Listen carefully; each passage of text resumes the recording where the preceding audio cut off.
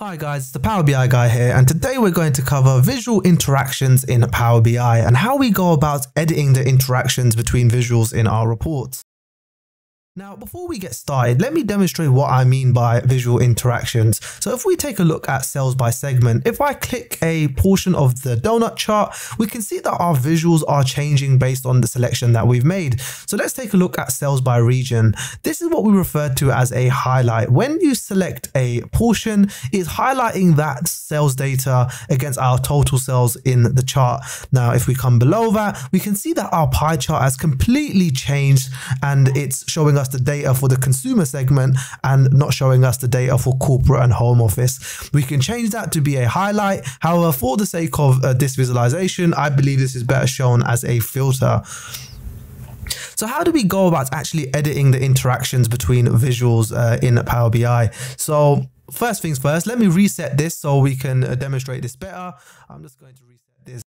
I've reset the interactions between our visuals. So if I go ahead and click consumer, we can see that the base stock version of the interaction is everything is going to be cross highlighted in our report. Now, if we want to change this, what we have to do is select the visual that you want to uh, edit your interactions with, and then come to the format tab, and then we click edit interactions. Now, if we take a look at our report, all our visuals have these little icons above, above them. Now, we can see one says highlight and the other one says filter, and then we have sort of a stop sign which says none. What that means is that if we click, let's say any portion of sales by segment, this visual will not change and it will show us the total sales. Now for this report, what I want to do is for our pie chart, I don't want this to be a cross highlight. I want it to change the data so we can just see the uh, pie chart data for consumer. So what I'm going to do is click filter for this. And for the sales by region, I like this as a highlight uh, for our sales versus previous year. I'm going to make this a, a filter uh, so that it changes based on our selection. And I'm happy with that. So if we leave edit interactions, what we can see that if I select a home office, our pie chart is going to change completely and filter down. And then our sales by region, this is going to be a highlight to see the segment sales against our total sales.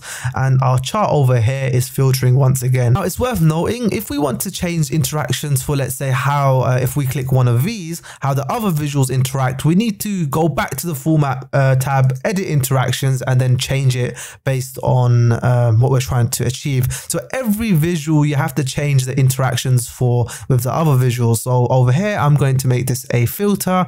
Let's leave this as a highlight. And over here, I want this as a filter once again.